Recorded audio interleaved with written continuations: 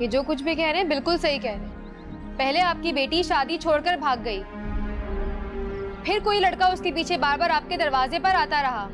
और एक बार नहीं कई बार देखा गया है। ये कोई तरीका नहीं है लई साहब।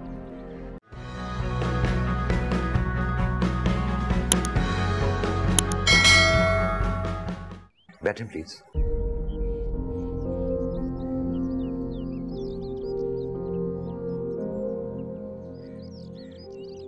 दरअसल लई साहब हम आपसे कुछ बात करने के लिए आए हैं आज।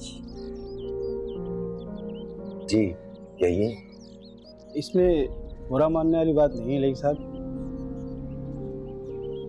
दरअसल हम जानते हैं ये मुनासिब वक्त नहीं है इस तरह की बात करने का। लेकिन हमारी मजबूरी है वरना हम आपसे हरगिज़ इस तरह की कोई बात नहीं करते। ऐसी क्या बात दरअसल बात यह है कि आपकी बच्चियों की वजह से महल्ले में कहीं बदनामी हो रही है।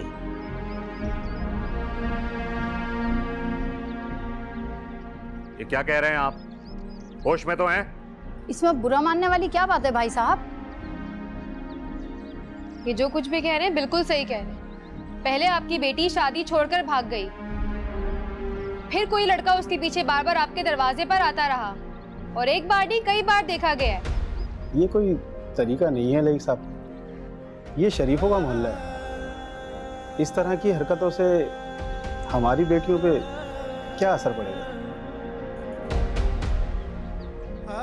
सिर्फ़ यही नहीं बल्कि आपकी बच्चियों की वजह से हमारे बच्चों के रिश्ते में मसाइल पैदा हो रहे हैं। लोग तो ये समझेंगे ना भाई साहब कि यहाँ की हर लड़की ऐसी होगी। बुरा मत मनाइएगा भाई साहब। हमें पता है कि आप भले आदमी हैं। अगर औलाद रास्ता भटक जाए तो इसमें माँ बाप का क्या कसूर? आप हमारी परेशानी समझें। हमारे लिए भी तो ये औलाद का मामला है। देखिए भाई साहब, इसलिए आज हम आपसे ये कहने आए कि आप लोग ये मोहल्ला छोड़ के चले जाएँ।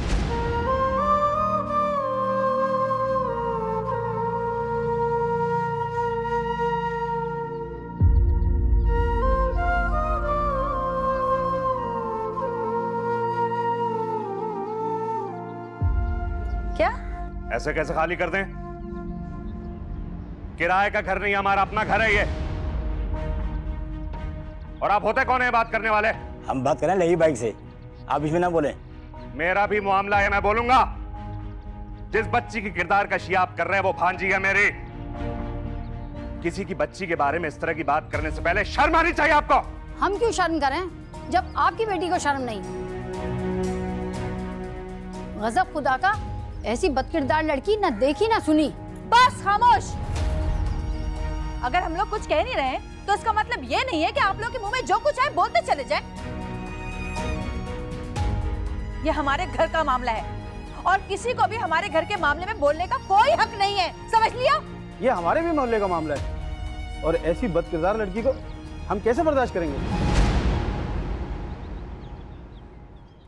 बस कर दीजिए।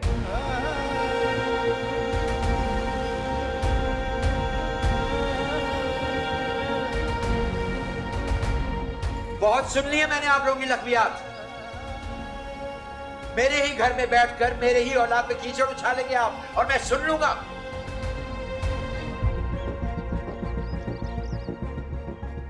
बेहतर होगा कि यहाँ से निकल जाए आप लोग। निकलिए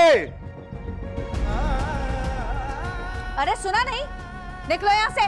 हाँ हाँ जा रहे हैं। लेकिन याद रखिएगा अगर आपकी बेटी की वजह से हमारी बच्चियों के मामला खराब हुए ना तो आप लोग भी सुकून से नहीं रहेंगे। चलो चलो। देख लीजिएगा। आपकी बेटियों की भी शादी नहीं होगी। बैठी रहेंगी इसी चलो, चलो, पे। चलो चलो भाई चलो निकलो। जैसे तुम लोग बड़े दूध के धुले हो ना सबके घर की कहानियाँ पता है हमें। आए बड़े। भाई साहब भाई साहब अरे भाई साहब इनकी बातों का बुरा ना माने आप। ये खुद क्या है? संभाले खुद को। मैं मैं पानी लाती हूँ। मेरी बात सुन